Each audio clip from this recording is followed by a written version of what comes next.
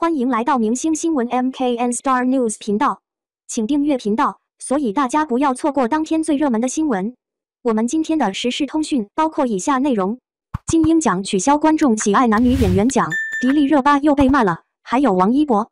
不知道从什么时候开始，金鹰奖已经被网友评为水奖，就如同当年 Angelababy 和李易峰拿到百花奖是一样的，有含金量的奖已经沦为流量生的镀金招牌。成为粉丝互撕最有力的证明。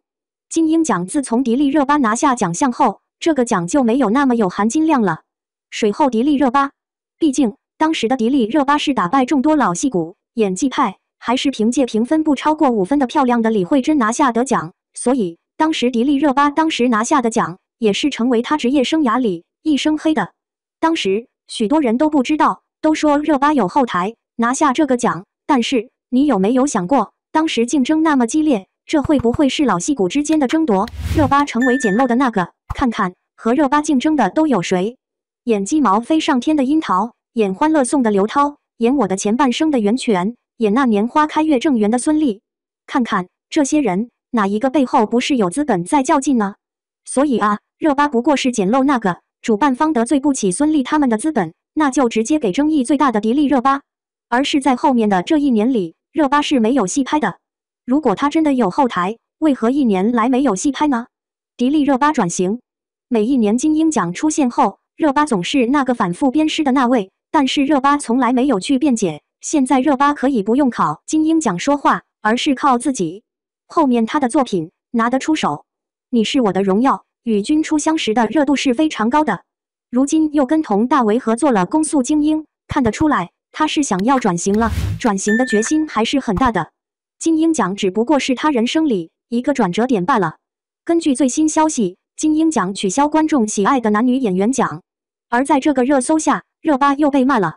六缺五王一博，当然了，被骂的可不只有热巴，还有王一博。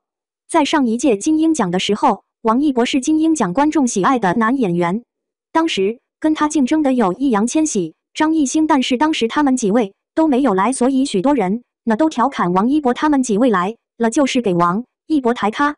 毕竟王一博是凭借《陪你到世界之巅际向空》的角色拿到的电视金鹰奖观众喜爱男演员奖。听过这部剧吗？大概只有粉丝眼中这部剧爆火吧。所以提到金鹰奖，在许多人认知里，好像是只有流量才能拿到的奖。毕竟最近几届里，王一博、迪丽热巴都是流量拿到这个奖项。这也是给许多人误区吧，毕竟张译拿奖了，你觉得这个奖有分量，是因为演员本身台词、动作，甚至眼神都是戏，你才觉得有分量，而不是来衬托你们长得好看、获得大批粉丝支持的明星，人家那才是演员，甚至我都觉得金鹰奖都不配。可惜大陆、台湾、香港，整个中国已经没有真正的奖项了，动不动五十多集讲一个烂故事，再好看的演员都没有用，如今都取消了。也就是说，王一博、赵丽颖是金鹰奖历史上最后一位该奖项得主。